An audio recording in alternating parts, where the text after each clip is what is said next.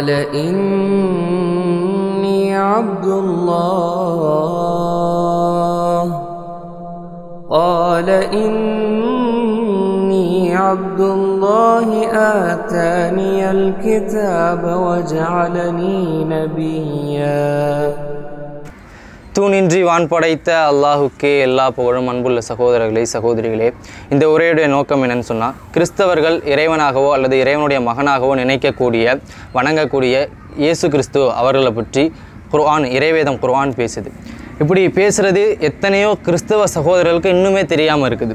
மற்ற மதங்களை சார்ந்த சகோதரர்களாக இருந்தால் ஆச்சரியமாக இருக்கலாம். அவங்க கடவுளாக வணங்கக்கூடிய ஒருவரை பற்றி எதுக்கு இவங்களுடைய மதத்தில் பேசப்படணும்? அதில் வேதத்தில் பேசப்படணும் அப்படின்னு.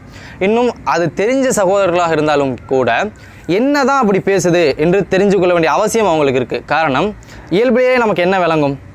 அப்போது மோசமான ஒரு விஷயத்தை தான் சொல்லுது அவரை பற்றி அவர் கெட்டவர் மோசமானவர்னு தான் சொல்லுது போல குர்ஆன் அப்படின்ற ஒரு சந்தேக பார்வை சிலருக்கு இருக்கலாம். எனவே இயேசுவை பற்றி குர்ஆன் என்ன சொல்லுது என்பதை சொல்வதற்கான ஒரு சுருக்கமான உரை தான் இது. இரண்டாவதா உங்களுக்கு என்ன அவசியம் இருக்குது? இஸ்லாம் மதத்தை பின்பற்றக்கூடிய முஸ்லீம்களுக்கு இயேசு கிறிஸ்துவை பற்றி பேசுவதற்கோ அல்லது குர்ஆன் இயேசுவை பற்றி பேசுவதற்கோ என்ன அவசியம் இருக்குது? என்று நிறைய பேர் கேட்கலாம். இதுக்கான ஒரு அடிப்படை அடிப்படையை சொல்கிறேன் இறைவன் இந்த உலகத்தை படைச்சான் மனிதர்களை படைச்சான். மனிதர்கள் எப்படி வாழணும் அப்படிங்கிற சொல்லி கொடுப்பதற்காக வழிகாட்டுவதற்காக பல இறை தூதர்களை இந்த உலகத்துக்கு அனுப்பினான். நோவா ஆப்ரஹாம் மோசஸ் ஜி முகமது சல்லா அலிஸ்லாம் இப்படி பல இறை தூதர்களை இறைவன் இந்த உலகத்துக்கு அனுப்பினான் அலஹிமுசலாம் இந்த மாதிரியான தூதர்களை அனுப்பினும் போது அதில் கடைசி இறை தூதர் தான் முகமது சல்லாஹ் அலையம் இந்த முகம்மதுக்கு முன்னாடி அனுப்பப்பட்ட ஒரு தூதர் தான் இறை தூதர் தான் இயேசு அவங்க. இயேசு இறைவனால் அனுப்பப்பட்ட கடைசிக்கு முன்னால் அனுப்பப்பட்ட ஒரு இறை தூதர். இவரை மக்கள் என்ன செஞ்சாங்க? அவருக்கு பின்னாடி கடவுளாகவும் கடவுளுடைய மகனாகவும் ஆக்கினாங்க. இதுதான் இஸ்லாம் சொல்லக்கூடியது. இதை அவருடைய வரலாறு ரீதியாக சொன்னால் நமக்கு புரியும். இந்த குர்ஆன் முஸ்லீம்கள் பின்பற்றக்கூடிய குர்ஆனானது உலக மக்கள் எல்லாருக்கும் பொதுவானதாக இருந்தாலும் கூட இந்த குர்ஆன் இயேசு அலைஹிஸ்ஸலாம் அவங்கள பற்றி இயேசுவை பற்றி பேசுது. நிறைய இடங்களில் பேசுது. முஹம்மது அவங்களுடைய குடும்பத்தை பற்றி பேசுனதை விட அலைஹிஸ்ஸலாம் அவங்களுடைய குடும்பத்தை பேசினதை விட அவங்களுடைய வரலாறை பேசினதை விட இயேசு அவங்களுடைய வரலாறு தான் குர்ஆன் அதிகமாக பேசுது. அவங்களுடைய தாயாருடைய வரலாறு தான் அதிகமாக பேசுது. இந்த குர்ஆனில் முகமதுடைய குடும்பத்து பெண்கள் பெண்களுடைய பேரில் ஒரு அத்தியாயம் கூட கிடையாது. ஆனால் மரியம் மேரி மேரி அவங்களுடைய பேரான அந்த மரியம் அலைஹிஸ்ஸலாம் அவங்களுடைய பேரில் குர்ஆனில் ஒரு அத்தியாயமே இறைவன் இறக்கியிருக்கான்.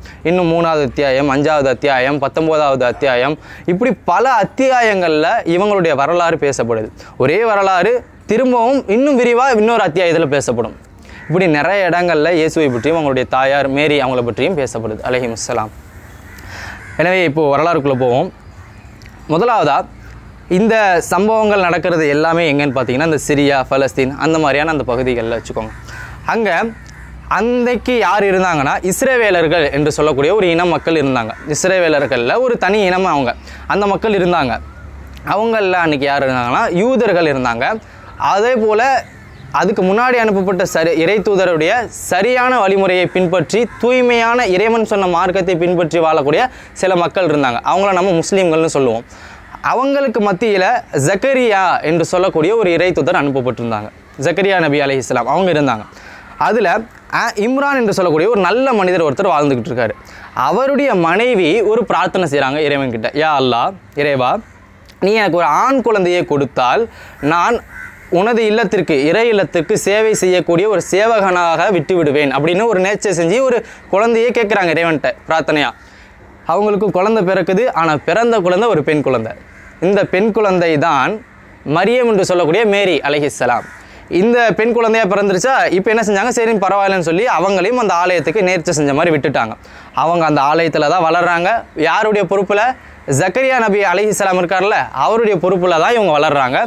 மிக சிறந்த ஒரு பெண்ணாக ஒழுக்கமுள்ள நல்ல கற்புள்ள மிக சிறந்த வணக்கங்களை அதிகமாக செய்யக்கூடிய ஒரு வணக்கசாலியான பெண்ணாக இந்த மேரி என்று சொல்லக்கூடிய மரியம் அலைஹிஸ்லாம் அவங்க வளர்கிறாங்க குர்வான் அவங்கள பற்றி சொல்லுது இந்த உலகத்திலேயே இறைவன் சிறந்த பெண்ணாக இவங்கள தான் தேர்ந்தெடுத்தான் அப்படின்னு. அப்படியான சிறப்புகளை குரான் சொல்லுது. இந்த நிமிஷம் கூட நான் மேரி மரியம் அலி இஸ்லாம் அவங்கள பற்றி பேசும்போது அலைஹிஸ்ஸலாம் அவங்க மேலே சாந்தி உண்டாகட்டும் அப்படின்னு சொல்லி பேசக்கூடிய கட்டாயத்தில் நான் இருக்கிறேன். இப்படித்தான் இஸ்லாம் அவங்கள கண்ணியப்படுத்துது. இந்த மேரி என்று சொல்லக்கூடிய மரியம் அலை இஸ்லாம் அவங்களுக்கு ஒரு முறை என்ன செய்கிறாங்கன்னா அவங்க திரையிட்டுருக்குறாங்க. திரையிட்டுட்டு என்ன செய்கிறாங்கன்னா அந்த இடத்துல ஒரு வானவர் வர்றார். ஒரு வானவர் ஜிப்ரைல் அலிஹிஸ்லாம் வானவர்னா இறைவன் ஏதாவது சொல்லி அனுப்பக்கூடிய செய்திகளை மனிதர்களுக்கு கொண்டு சேர்ப்பதற்காக அதுக்கும் இல்லாமல் பல ப- பல விஷயங்களுக்கு படைக்கப்பட்டாங்க. ஆனால் இந்த விஷயத்திற்காக படைக்கப்பட்ட ஒரு படைப்பு அவர் ஜிப்ராயில் அலிஹிஸ்லாம் இந்த ஜிப்ராயில் என்ன செய்கிறாருன்னா இவங்கக்கிட்ட வர்றாரு. வந்து ஒரு செய்தியை சொல்கிறாரு மரியமே மனித உருவத்தில் வர்றாரு. மனித உருவத்தில் வந்து அந்த செய்தியை சொல்கிறாரு மரியமே இறைவன் உனக்கு ஒரு குழந்தை பிறக்கப் போகிறது என்ற நல்ல செய்தியை சொல்ல சொல்லி அனுப்பியுள்ளான். அப்படின்னு சொல்கிறாங்க இன்னும் அவருடைய பேர் அல் மசி ஈசா இபுனு மரியம். அவருடைய பேர் ஈசா ஏசுன்னு சொல்லுவாங்க கிறிஸ்தவர்கள். நம்ம குர்வானில் ஈசான்னு சொல்லப்பட்டிருக்கும். அவருடைய பேர் ஈசா அலைஹிஸ்ஸலாம் இந்த குழந்தையை பற்றி அவங்களுக்கு பிறக்க போகக்கூடிய அந்த குழந்தையை பற்றி இன்னும் கொஞ்சம் விஷயங்கள்லாம் சொல்கிறாங்க வை கல்லி முன்னா சுஃபில் மஹதி. அவர் தொட்டில் குழந்தையாக இருக்கும்போதே பேசுவார். வ கஹ்ல ஒமின சாலிஹீன்.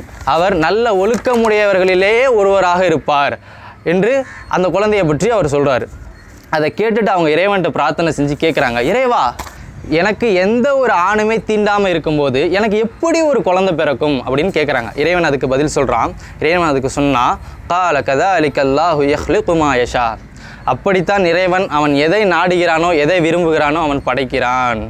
இதா கதா அம்ரன் அவன் ஒரு காரியத்தை எதையாவது ஒன்றை செய்ய நினைத்தால் ஃப இன்னமா யகூலு லஹு குன் ஃபயகூன். அதை குன் ஆகு என்று சொன்னால் அது ஆகிவிடும். இறைவன் உன்னை படைக்கணும்னு நினச்சிட்டா ஒரு விஷயத்தை செய்யணும்னு நினச்சா குன் ஆகுன்னு சொல்லுவான். அதோடு அது ஆகும். அப்படிப்பட்ட படைக்கக்கூடிய ஆற்றலுடையவன் தான் இறைவன். எனவே ஒரு பெண்ணுக்கு குழந்தை கொடுக்க வேண்டும் என்றால் ஒரு ஆணுடைய தொடர்பு படுத்தி பிறகுத்தான் இறைவனுக்கு குழந்தை கொடுக்க முடியும் என்பது கிடையாது. இறைவன் இந்த உலகத்தில் ஒரு விதியாக அதை வச்சிருக்கிறான். ஆனால் விதிவிலக்காக தேர்ந்தெடுக்கப்பட்ட ஒரு பெண் தான் இந்த மேரி என்று சொல்லக்கூடிய மரியம் அலைஹிஸ்ஸலாம் அவனுக்கு அவங்களுக்கு எந்த ஒரு ஆணுடைய தொடர்பும் இல்லாமல் தான் இறைவன் அற்புதமான அதிசயமான முறையில் குன் ஆகு என்ற முறையில் ஒரு குழந்தையை கொடுத்தான். இதுக்கு பிறகு என்ன செய்யுது அப்படின்னா அவங்க கற்பமாகறாங்க கற்பித்து ஒரு இடத்துக்கு போகிறாங்க ஒரு தூரமான ஒரு இடத்துக்கு போயிட்டு குழந்தையை பெற்று எடுத்துகிட்டு அந்த சமுதாயத்துக்கு வர்றாங்க. இப்படி வந்தால் என்ன ஆகும்? அந்த மக்கள் எல்லாம் பேசுவாங்க எல்லோரும் பேசுகிறாங்க அப்போ என்ன செய்கிறாங்க இவங்க அந்த குழந்தைய சுட்டி காட்டுறாங்க. எதாக இருந்தாலும் அந்த குழந்தைகிட்டே கேட்டுக்கோங்கன்னு. ஏன்னா ஏற்கனவே சொல்லப்பட்டிருந்துச்சு வை கல்லி முன்னாசு ஃபில் மஹதி. அவர் தொட்டில் குழந்தையாக இருக்கும்போது பேசக்கூடியவராக இருப்பார் அப்படின்ற அறிவிப்பு அவங்களுக்கு முன்னாடி சொல்லப்பட்டிருந்தது. அவங்க கை நீட்டி அவங்கள காட்டுறாங்க. அப்போ அந்த மக்கள் கேட்குறாங்க தொட்டில் குழந்தையாக இருக்கும்போது அந்த குழந்தைகிட்ட போய் நாங்கள் என்னத்தை கேட்க முடியும்? அப்படின்னு கேட்கும்போது இயேசு ஈசா அலிஹிஸ்ஸலாம் அவர் பேசினார். இந்த சம்பவம் மேரி என்று சொல்லக்கூடிய மரியம் அலி இஸ்லாம் அவங்கள தூய்மையான பெண் தான் என்று நிரூபிக்கப்படக்கூடிய ஒரு மிக முக்கியமான சம்பவம். ஆனால் இந்த சம்பவம் பைபிளில் வராது. வர வாய்ப்பும் இல்லை இருந்தால் அதை எடுத்திருக்கணும். ஏன்னா சொல்லப்பட்ட வார்த்தை எப்படி? இயேசு பேசினாங்க. இயேசு ஒரு வார்த்தை சொன்னாங்க. என்ன வார்த்தை தெரியுமா? கால இயேசு பேசினார். இன்னி அப்துல்லா நான் அல்லாஹுடைய அடிமை. அத்தானியல் கிதாப வஜஅலனி நபியா. எனக்கு இறைவன் வேதத்தையும் கொடுத்திருக்கிறான். இந்த மக்களுக்கெல்லாம் இறை தூதராகவும் ஆக்கியிருக்கிறான் என்று சொன்னாங்க. இயேசு பேசின முதல் வார்த்தை இன்னி அப்துல்லா நான் அல்லாஹுடைய அடிமை.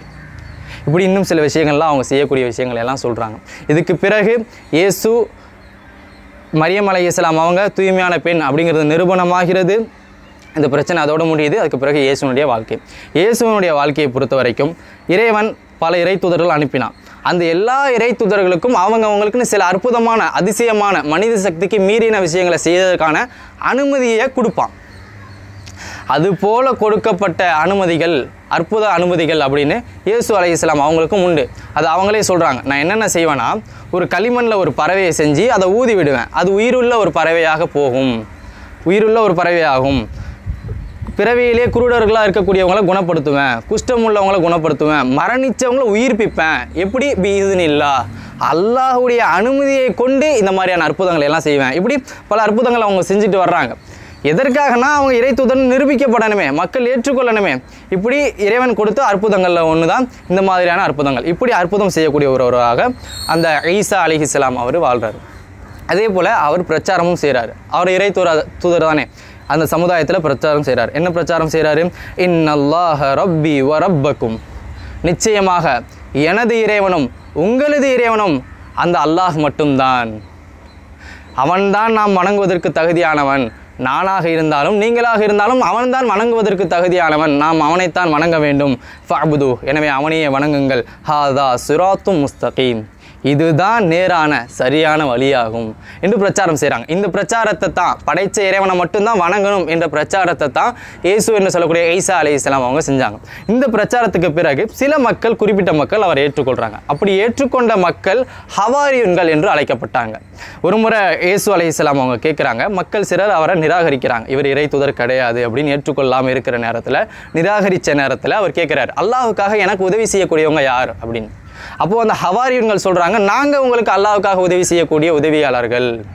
அதை சொல்லிட்டு சொல்கிறாங்க ஆமன்னா பில்லா நாங்கள் அல்லாஹுவை நம்பிக்கை கொள்கிறோம். அஷ் அஷ்ஹது அண்ணா முஸ்லிமூன். மேலும் நாங்கள் சாட்சி சொல்கிறோம் நாங்கள் படைத்த இறைவனான அல்லாஹுக்கு மட்டும் கட்டுப்பட்டு வாழக்கூடிய முஸ்லிம்களாக இருக்கிறோம். என்று சாட்சி சொல்கிறோம் அப்படின்னு சொன்னாங்க. அந்த செய்தியை குரானில் பதிவு செய்யப்படுது. எனவே இயேசு அலி இஸ்லாம் அவங்களுடைய வாழ்க்கையை பொறுத்த வரைக்கும் அவர் ஒரு அற்புதம் செய்யக்கூடிய ஒரு இறை தூதராக அதிக அளவில் அற்புதம் செய்யக்கூடிய ஒரு இறை தூதராக இருந்தார். படச்சிறைவனை மட்டுமே வணங்க வேண்டும் என்று பிரச்சாரத்தை செய்யக்கூடியவராக இருந்தார். அவரை ஏற்றுக்கொள்ளக்கூடிய மக்கள் ஹவாரியன்கள் என்று அழைக்கப்பட்டாங்க. அவங்க தங்களை தாங்களே இறைவனுக்கு கட்டுப்பட்டவர்கள் முஸ்லீம்கள் என்றும் சொல்லிக்கொண்டாங்க. இப்போ நீங்கள் பார்க்கலாம். ரெண்டு குரூப்பாக இருந்துச்சு. ஒன்று அவர் இறை தூதரே இல்லை என்று அவரை ஏற்றுக்கொள்ளாத அந்த மக்கள். இரண்டாவது இவர் இறை தூதர் தான் அப்படின்னு ஏற்றுக்கொண்ட இந்த மக்கள். இதில் அந்த ஏற்றுக்கொள்ளாத மக்கள் யாருன்னா யூதர்கள். இந்த யூதர்கள் என்ன செய்கிறாங்கன்னா இவரை கொலை பண்ணுறதுக்கு திட்டம் திட்டுறாங்க சதி செய்கிறாங்க அல்லாஹ் சொல்கிறான் குரானில் வ மக்கரு வ மக்கர் அல்லாஹ். அவர்களும் சதி செஞ்சாங்க அல்லாவும் சதி செஞ்சான். வல்லாஹு ஹைருல் மாக்கேன் ஆனால் அல்லாஹ் சதி செய்வதிலேயே சிறந்தவனாவான். என்ன சதி தெரியுமா? அவங்க கொலை செய்யறதுக்கு திட்டம் போடுறாங்க. அல்லாஹ் என்ன செய்கிறான் இயேசு ஐசா அலை இஸ்லாம் அவங்கள தன் பக்கம் வானத்தின் பக்கம் உயர்த்தி கொள்கிறான் அந்த கூட்டத்தில் ஒரு ஆளுக்கு என்ன செய்கிறான்னா இயேசு அலி இஸ்லாம் அவருடைய தோற்றத்தை இன்னொருத்தருக்கு கொடுக்கப்படுது. இதுதான் நடந்தது. அல்லாஹ் குரானில் சொல்கிறான் இயேசு அவங்க கொல்லவும் இல்லை சிலுவையில் அறையவும் இல்லை அல்லாஹ் அவர்களை தன் பக்கம் வானத்தின் பக்கம் உயர்த்தி கொண்டான் அப்படின்னு சொல்கிறான் எனவே இயேசு அவங்க கொல்லப்படலை. கடைசி வரைக்கும் கொல்லப்படலை. இப்போவும் இந்த நிமிஷமும் இயேசு உயிரோடு தான் இருக்கிறார் என்பது முஸ்லீம்களுடைய ஆழமான நம்பிக்கை. இயேசு உயிரோடு தான் இருக்கிறார். இந்த உலகம் அழிவதற்கு முன்னால் இந்த உலகத்திற்கு மீண்டும் அவர் வருவார் என்பது முஸ்லீம்களுடைய ஆழமான நம்பிக்கை. இயேசு கொல்லப்படவே இல்லை. இதுதான் நடந்தது. இதுக்கு பிறகுதான் இது வரைக்கும் நீங்கள் பார்க்கலாம் இயேசுவை சில மக்கள் ஏற்றுக்கொண்டாங்க. இறை தூதர்னு. சில மக்கள் இவர் இறை தூதராக ஏற்றுக்கொள்ள முடியாதுன்னு நிராகரித்தாங்க ஆனால் யாருமே இதுவரைக்கும் அவர் கடவுள் என்றோ கடவுளுடைய என்ற மகன் மகன் என்றோ சொல்லவே கிடையாது. இதுவரைக்கும் அப்படி ஆக்கப்படவே இல்லை. கடைசியில் பின்னாடி வந்த மக்கள் தான் அவரை கடவுள் என்றோ கடவுளுடைய மகன் என்றோ ஆக்கினாங்க. வேதங்களில் மாற்றங்களை கூட்டல்கள் குறைத்தல்களை ஏற்படுத்தினாங்க. அல்லாஹ் குருவானில் சொல்கிறான் மறுமை நாளில் விசாரணை நாளில் இந்த உலகமெல்லாம் அழிக்கப்பட்டு விசாரணை செய்யப்படும் இறைவனால். எல்லாருக்கும். அப்போ இறைவன் இயேசு ஈசா அலைஹிஸ்ஸலாம் அவங்கள கூப்பிட்டு கேட்பான். ஈசாவே இயேசுவே நீங்கள் படைத்த இறைவனான அல்லாஹுவை விட்டுவிட்டு என்னையும் என்னுடைய தாயாரையும் கடவுளாக எடுத்து வணங்குங்க அப்படின்னு நீங்கள் சொன்னீங்களா? அப்படின்னு நல்லா கேட்பான். அப்போ அவர் சொல்லுவார் யா அல்லாஹ் எனக்கு உரிமை இல்லாத ஒரு விஷயத்தை சொல்வதற்கு இல்லை. எனது உள்ளத்தில் என்ன இருக்கிறது என்பதை நீ அறிவாய். உனது உள்ளத்தில் என்ன இருக்கிறது என்பதை நான் அறிய மாட்டேன். நீ நன்கு அறிந்தவன். அப்படின்னு சொல்கிறாங்க அதை சொல்லிட்டு சொல்கிறாங்க யா அல்லாஹ் நீ எனக்கு கட்டளையிட்டபடி நான் இருக்கும் காலமெல்லாம் எனது இறைவனும் உங்களது இறைவனுமான படைத்த இறைவனான அல்லாஹ்வையே வணங்குங்கள் என்பதைத்தான் நான் சொல்லி வந்தேன். நான் இருக்கும் வரைக்கும் அவங்களை கண்காணிக்கக்கூடியவங்களாக இருந்தேன். நான் இல்லாத போது நீ என்னை உயர்த்தி கொண்ட பிறகு நீதான் அவர்களை கண்காணிக்கக்கூடியவர்களாக இருந்தாய். நீயே சாட்சியாளன் அப்படின்னு சொல்கிறான் ஒரு அப்படியான ஒரு சம்பவம் நடக்கும் என்பதை இறைவன் குரான்லேயே முன்கூட்டியே சொல்லி காட்டுறான். எனவே இயேசு ஐசா அலி இஸ்லாம் அவங்க இருக்கிற வரைக்கும் அவங்க கடவுள் என்றோ கடவுள் என்றோ கடவுளுடைய மகன் என்றோ ஆக்கப்படவே இல்லை. பின்னாடி தான் ஆக்கப்படுறாங்க. சரி இது எப்படி ஆக்கப்பட்டிருக்கும்? அவங்க எப்படி கடவுள் என்றோ கடவுளுடைய மகன் என்றோ ஆக்கப்பட்டிருப்பாங்க அப்படின்னு கேட்டால் நமக்கு பார்க்கலாம். இந்த உலகத்துடைய இயல்பில் ஒன்று அற்புதங்களுக்கும் அதிசயங்களுக்கும் கடவுள் தன்மை கொடுக்கிறது அப்படிங்கிறது ஒரு இயல்பு. ஏதாவது ஒரு அற்புதமான அதிசயமான விஷயங்கள் நடக்குதுன்னா அதுக்கு உடனே கடவுள் தன்மையை கொடுக்கறது நம்ம மக்களுடைய உலக மக்களுடைய இயல்பு. ஏதாவது ஒரு கடவுள் தன்மை கொடுக்கப்பட்டு இடங்களோ அல்லது மனிதர்களோ இருப்பாங்க. அவங்க ஏன் கடவுளாக ஆக்கப்பட்டாங்க அப்படிங்கிறதுக்கு பின்னாடி உள்ள காரணம் ஏதாவது ஒரு அற்புதமான விஷயங்கள் செய்யப்பட்டதாக உண்மையோ பொய்யோ செய்யப்பட்டதாக இருக்கும்.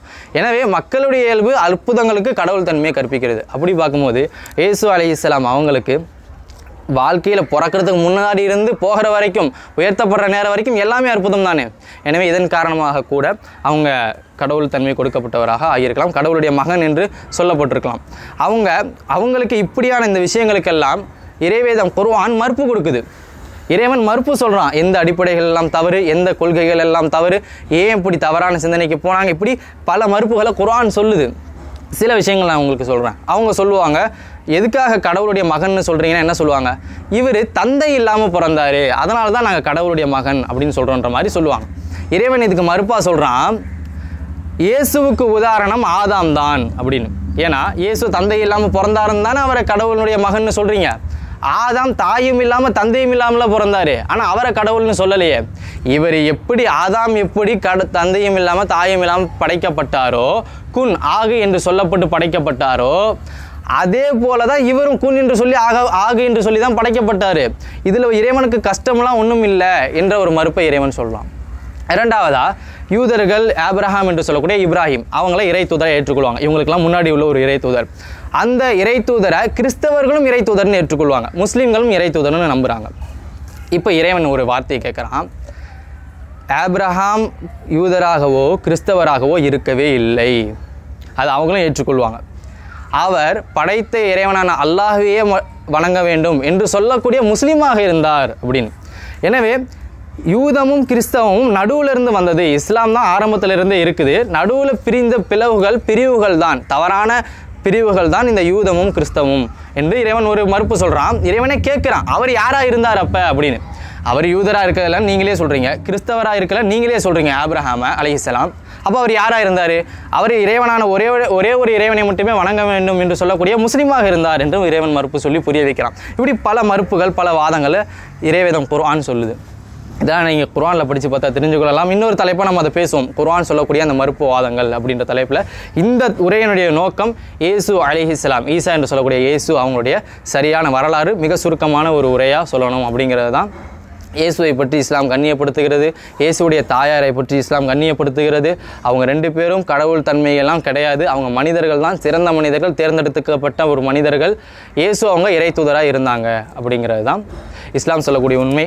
படைத்த இறைவனான அல்லாஹ் எனக்கும் உங்களுக்கும் கிறிஸ்தவ நண்பர்களுக்கும் சரியான புரிதலையும் சரியான வழியையும் பாதையையும் கொள்கையையும் கொடுக்க வேண்டும் என்று பிரார்த்தித்தவனாக எனது இந்த உரையை நிறைவு செய்கிறேன் அக்கூலு கவுலி ஹாதா ஓ அஸ்தகுஃபருல்லா அலி வலக்கும் அஸ்ஸலாமு அலைக்கும் வரஹ்மத்துல்லாஹ் يا أهل الكتاب لا تغلوا في دينكم ولا تقولوا على الله إلا الحق إنما المسيح عيسى ابن مريم رسول الله وكلمته ألقاها إلى مريم وروح منه فآمنوا بالله ورسله. ولا تقولوا ثلاثة انتهوا خيرا لكم إنما الله إله واحد سبحانه أن يكون له ولد له ما في السماوات وما في الأرض وكفى بالله وكيلا.